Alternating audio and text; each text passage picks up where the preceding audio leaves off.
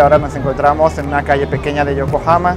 Me recuerda un poco a Guanajuato pues porque también es un, callejón. Estos lugares me hacen muy bonitos porque es muy japonés. Dentro de lo que es toda la tecnología que Japón tiene, este lugar es este, muy tradicional.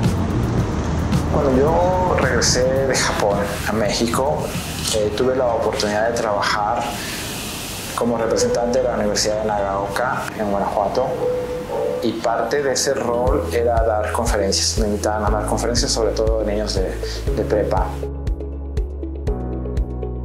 Y la historia que yo les contaba es que yo trabajé mucho tiempo, toda la preparatoria la trabajé de mesero en una taquería, pero dentro de mí siempre dijo, algún día tú te vas a ir de intercambio. Nunca pensé en quedarme en ese país, ese, no, ese no, era el plan, pero me casé. Entonces, pues ya, ese no era el plan. Pero yo hace mucho tiempo, cuando yo creo que tenía unos 11, escuché a alguien hablar de que se fue de intercambio y dije, yo quiero eso, yo quiero eso.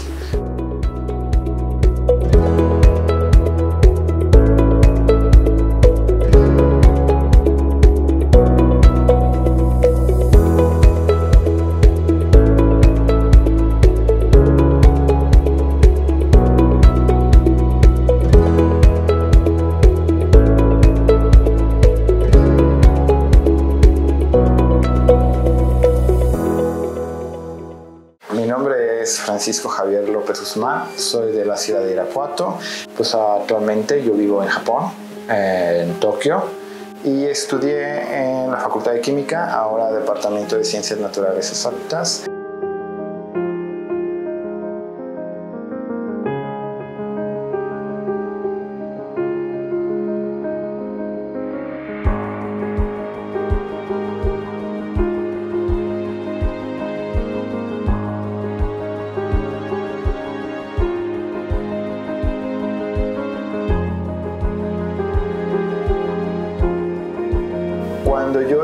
Licenciatura, eh, la división de química te ofrece varias ramas. Yo terminé la especialidad de química inorgánica junto con analítica y ahorita nos encontramos en el departamento de química analítica. Este es el laboratorio de química analítica. Este laboratorio en el que estamos, bueno, a mí me trae muchos recuerdos porque aquí se hace una cosa que se llama espectroscopía infrarroja que son los análisis para saber, eh, en pocas palabras, qué contiene una muestra. Yo creo que pasé un 80% de, de, mi carrera eh, realizando pruebas químicas. Una vez que yo me titulé como químico, eh, decidí continuar mis estudios de doctorado en la Universidad de Guanajuato con un perfil de química de materiales Dentro del perfil de química de materiales, el doctorado me ofrecía la oportunidad de hacer un intercambio académico de un año fuera de, la universidad y escogí o la vida me llevó por hacer el destino a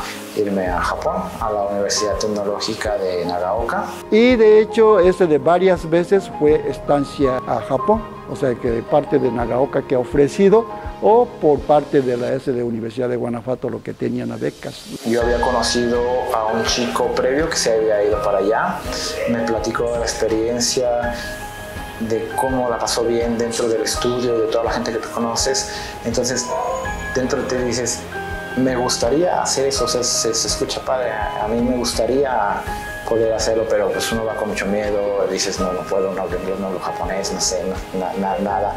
Mira, lo más este de frontera, más barrera, más grande, mucha gente piensa que es idioma y mucha persona es de que es comida o costumbre, mucha persona, ¿sí? Yo vine aquí a México sin hablar español ni nada, ¿sí? Comida tampoco, no me gustaba a los principios y así vine.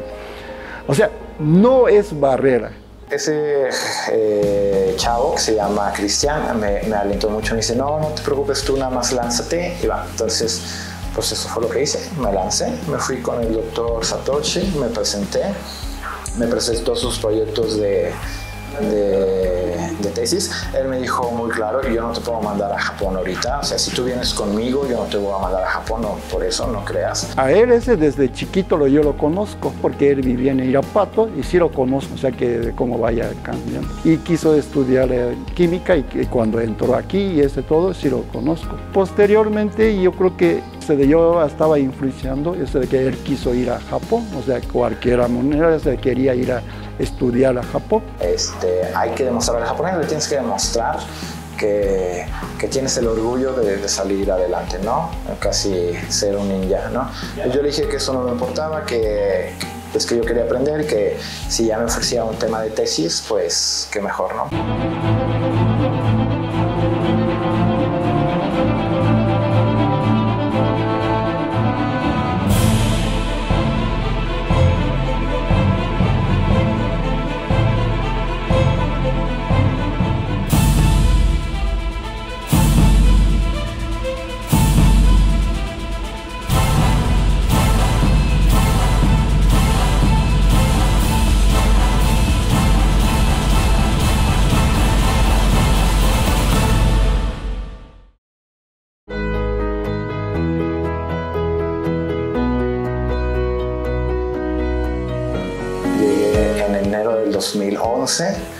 El 11 de marzo, si recuerdan, tembló, hubo un tsunami y recibí una llamada de emergencia de te regresas, ¿no?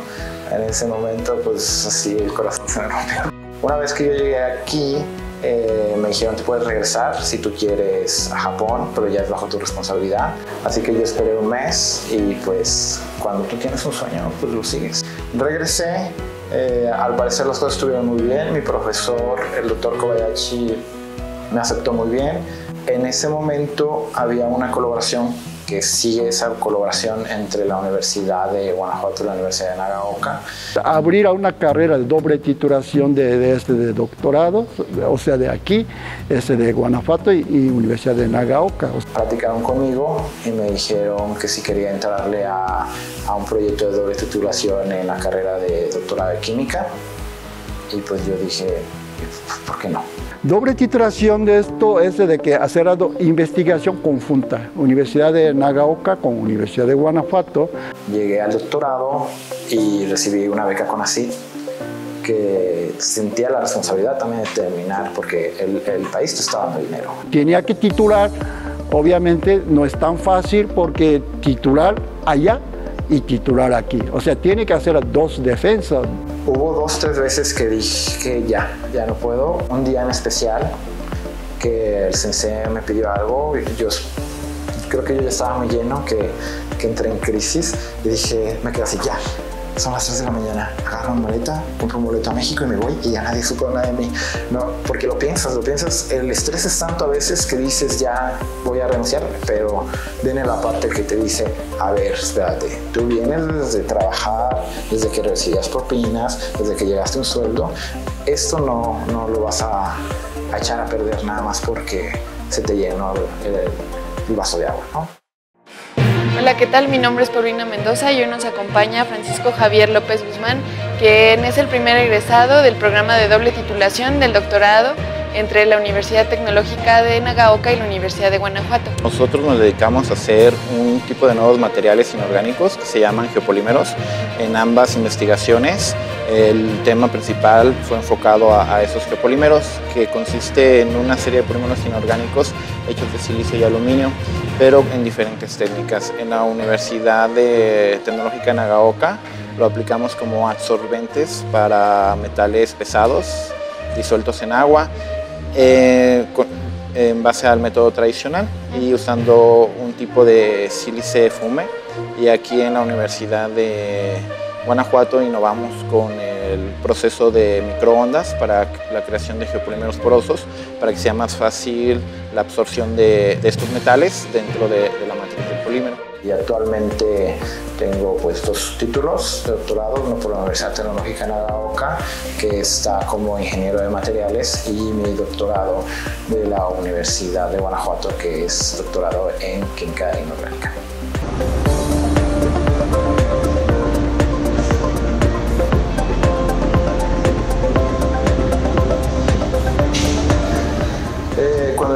Japón la primera vez, eh, yo tenía 26 años, iba con un inglés medio mocho, pero con muchas ganas.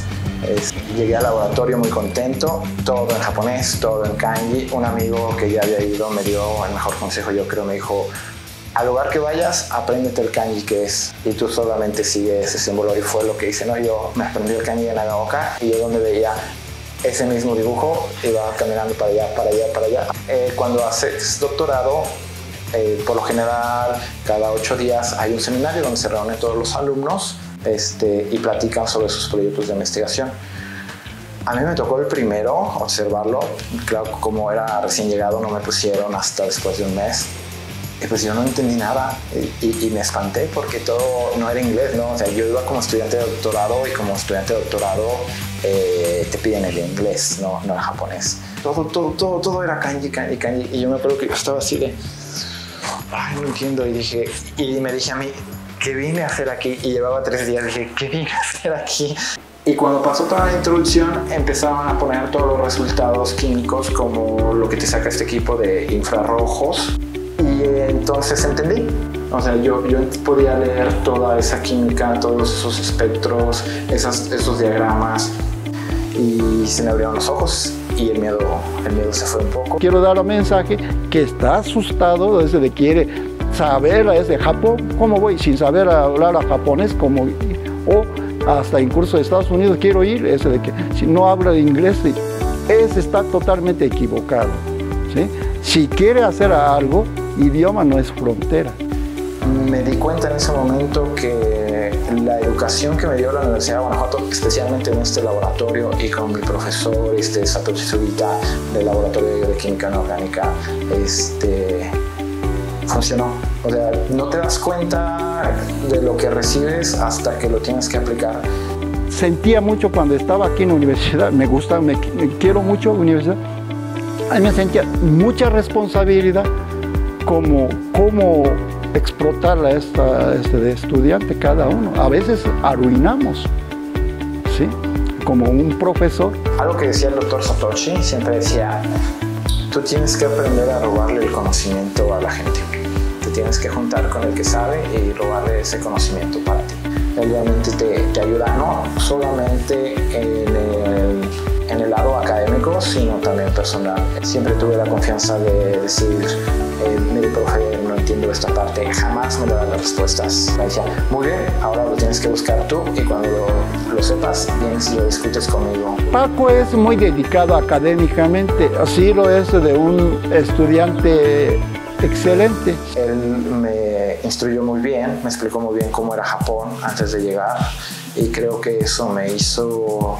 Eh, me dio mucha fortaleza también para, para poder salir, salir adelante. Ya cuando tituló aquí, había una opción, ¿sí? Había una opción que es buscar a una área de aquí, entonces que buscar a trabajar o, o, investigador o trabajar aquí en alguna industria. Eh, se dio la oportunidad de encontrar trabajo allá, la tomé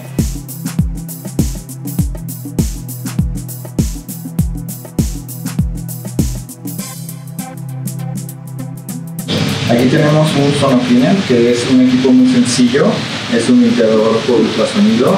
Ahorita estoy en la empresa de Cayo, en Tokio, Japón, y es donde nos desempeño laboralmente en mis actividades. Acá tenemos otros modelos que ya son más de eh, limpieza industrial, eh, o son más poderosos que, que este chiquito. Y bueno, pues se usa sobre todo para la limpieza de materiales o piezas de automotriz? まあ、ここは今の加減者で働いていただいてこの技術関係特にあの洗浄に関するプロセスのことを今一生懸命仕事しております、えー、我々の部隊で今あの洗浄実験というのをいろいろ担当してまして、えー、お客様から洗浄物を預かってどうやったらきれいになるかえそういう洗浄プロセスの実験を担当している部署にパコさんも来てもらってます。En la área de ese ultrasonido es uno de los mejores. えっ、と長岡技術科学大学の先生とあの仕事を一部したことがありまして、まあ、その中であの海外の方の話を聞いて、まあ、あのメキシコの方ですけれどもでそちらに仕事で出張した際に向こうのガナファト大学の先生あの杉田先生でちょうどパコのあの担任あの担当の先生でしてその先生と知り合いになりましてでその関係からパコを紹介されてあの一緒に仕事をするようになったという、まあ、簡単に言えばそういう経緯になります。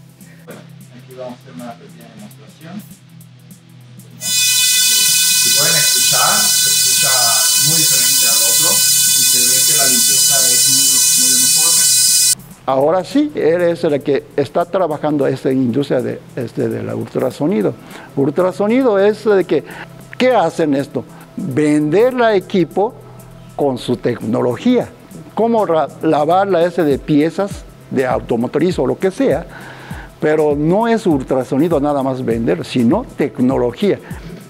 パポは、えっとまあ、あの実際の会社にいる時はあの石川の 部署に行っていろいろやってるんですけども海外にあのいろいろ出張する時には彼と一緒に行く場合もあって、まあ、その中では非常に2人ともお互いに、まあ、仲良く あのいろんな問題が発生しても一応彼が率先してっていうことを解決してくれながらスムースに出張ができていると、まあ、そういった意味ではあのいろいろ新しいことをやる上でも非常に協力的であの積極的にやっているので非常にあの嬉しく皆さん考えてます。でパコさんは非常に勉強熱心で、えー、もう自分でどんどん質問もしてくるしあとは、えーと、準備片付けもまあ泥臭い仕事ですけどもそういうのも率先して、えー、どんどん参加してくれまして非常に、えーと、有効的にも仕事できていますで仕事終わった後の、えー、そういうコミュニケーションも非常にパコさんは、えー、参加してくれてまして我々の舞台の中でも非常にいい、えー、関係を築けておりますパコのこの人脈のあの友達関係の広さまあ、世界各国からこう集まってきたということで、まあ、あのもともとそういう人柄で人柄にみんなこう仲間が増えてきたんだろうなということであの感心しました。はいまあ、あらゆるその、ね、あの世界各国からこう集まれるようなあの会社になれるといいなと思っております。あのじゃあ、えっとまあ、さっきあの秋事部長の方からも説明ありましたけどもやはりグローバルにあのいろいろビジネスを展開していかなきゃいけないとなった時にやっぱりあのその人のやっぱりこのいろんな各国の人とのコミュニケーションを取あの自分からいろんなものを発信していくっていうのが非常に大事なことで、まあ、そういった意味ではあの日本人だけではなくて、まあ、今回まあこうあのいろいろ採用してあの頑張っていただいてますけれどもあのいろいろ海外の人を今後採用してグローバルにあの展開していくというのは非常に大事だと思ってます。で特に、まあ、メキシコの人を、まあ、パコを代表されるように、まあ、いろいろ仕事してもらってますけども非常にあの真面目にあの積極的に時に朗らかに楽しくですね、まあ、こうやって仕事をやっていけるっていうのは非常に会社にとってもあの新しい、まあ、文化が入ってきながらのグローバルにいろんな人とのコミュニケーションを取りながらやっていくという非常に大事なことで、まあ、今後もそういうことができれば Paco es un clave, espero que sea ese de para lo que enlace que pueda hacer.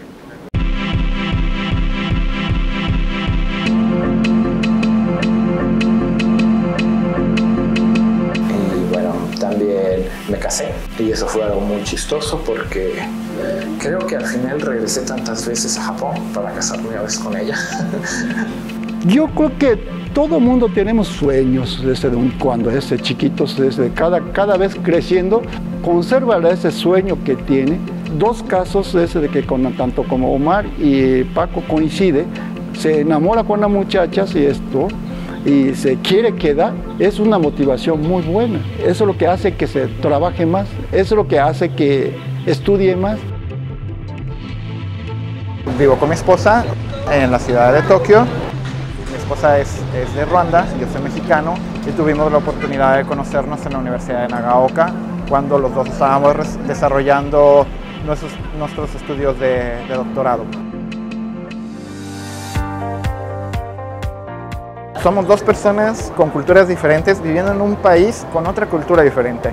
nunca nos olvidamos de, de dónde venimos o de quiénes somos y pues tratamos de aprender el uno y el otro. ¿no? Entonces, pues es una combinación muy bonita y muy rara a la vez, pero hay mucho respeto de ambos y es lo que, bueno, nos hace, nos hace seguir adelante.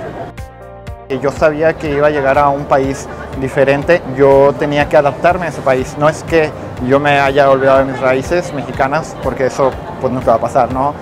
Siempre he dicho que gracias a Dios soy mexicano en Japón. Siempre he pensado que al lugar que tú vayas, incluso en México, cuando vas a una casa ajena, pues te tienes que comportar a las costumbres y las necesidades que tiene ese lugar. Entonces yo ya venía a esa, idea.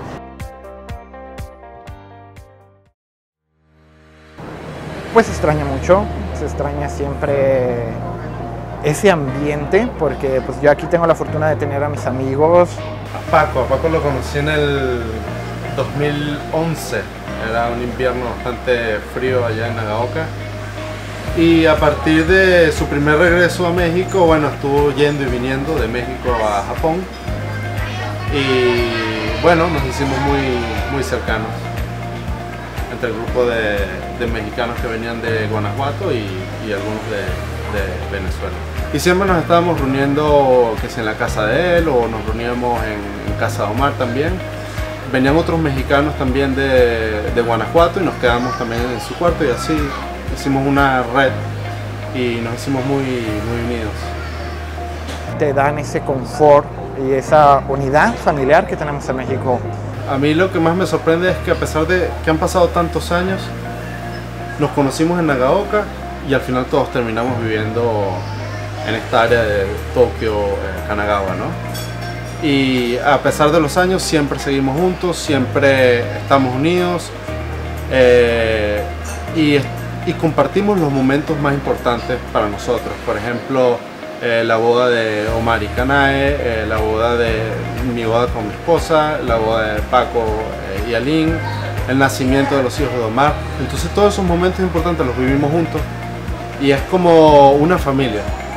Yo a pesar de que estoy en un país muy diferente al mío, del otro lado del mundo, muy lejos, no me siento solo porque tengo a, mi familia aquí, que son ellos porque es algo que sí ves aquí en Japón. Cada quien está haciendo su, sus cosas por, su, por su parte.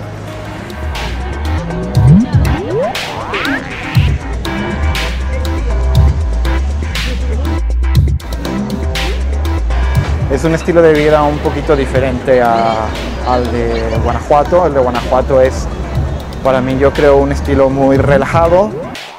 Lo que más me gusta de vivir en Japón es, yo creo que mucha gente dice esto, pero es lo que todo está ordenado. O sea, sabes bien los horarios, a dónde y cómo tienes que llegar y los servicios que te da la gente, en el cual si un japonés te va a prestar un servicio, se va a encargar de que ese servicio sea el mejor.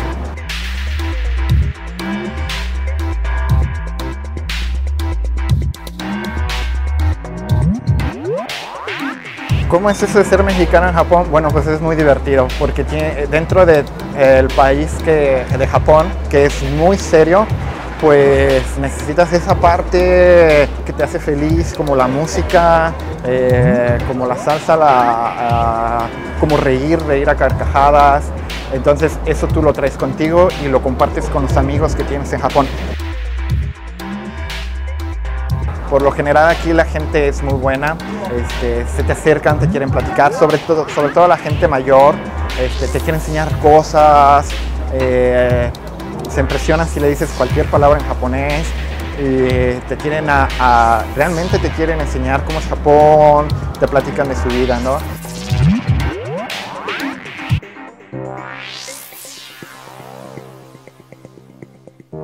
Yo cuento mi historia y yo mismo me escucho a mí de que soy un mexicano que salió de Guanajuato, de Irapuato, y de repente llegué a Japón, me casé con una africana y ahora vivimos los dos en Japón.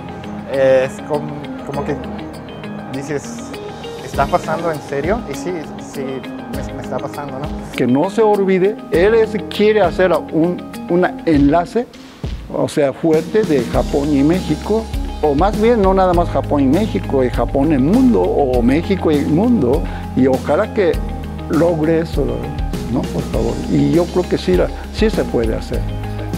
Uno cree que es complicado, pero cuando te informas de cómo hacerlo y empiezas el camino de tomar esta aventura, ves que no es tan complicado, que mucha gente te dice, no, eso olvídalo, tienes que hablar inglés, tienes que hablar japonés, este, no, ya son otras cosas.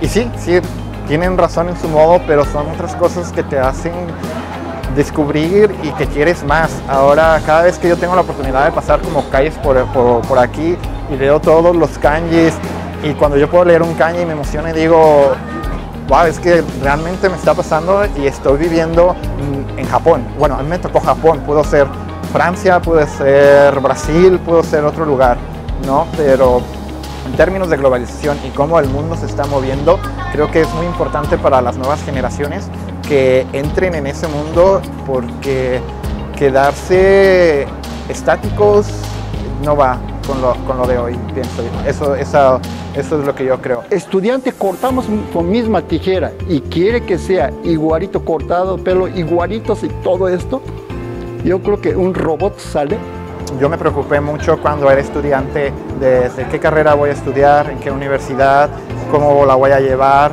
este, en qué voy a trabajar. Cuando yo pasé todo eso, yo decidí eh, no preocuparme más y solamente dejar que la vida me vaya guiando.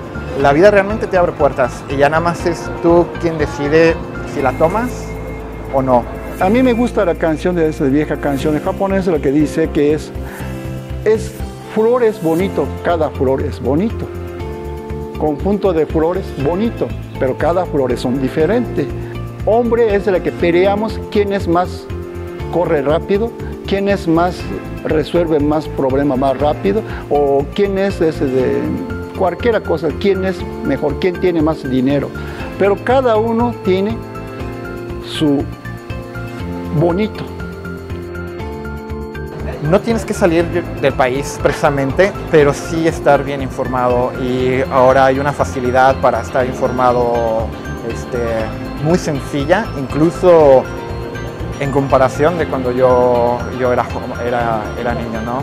Entonces, ahora pienso yo que es muy importante al menos hablar otro idioma, aparte de, tu idioma, eh, no cerrarte a conocer nuevas personas, a conocer nuevas culturas, eh, no decirle no a las personas que te, eh, que te quieren compartir esa cultura, tanto en tu propio país, con tus amigos o afuera de tu país y en el entorno de trabajo. Buscar y confuntar lo mejor de, de cada uno. ¿sí? ¿Cómo confuntar la, la mejor o sea, manera? La universidad no es escuela, la universidad es el medio que te va a hacer desarrollar tu sueño. Entonces no, no lo desaproveches. Y si no puedes, eh, bueno, hacer una carrera en una universidad, aprende un idioma nuevo. Eso te va a abrir otra manera de pensar, otra cultura y lo que va a hacer en ti es querer más. Yo creo que somos un país que todavía nos falta mucho por crecer, un país que todavía nos falta mucho entendernos, pero sobre todo creo que es un país que nos hace falta mucho creer. Entonces, esa confianza en uno de que pueda hacer las cosas es algo que yo creo que estamos aprendiendo. Las nuevas generaciones lo, están, lo están aprendiendo. Aprendiendo a que se puede sacar un buen trabajo, se puede sacar una buena carrera, creer, creer en uno mismo que como mexicano tienes esas puertas abiertas a poder lograr lo que tú creas que puedes lograr. Ver lo increíble que puede ser lograr una meta y al final vas a decir, ay, era así de fácil.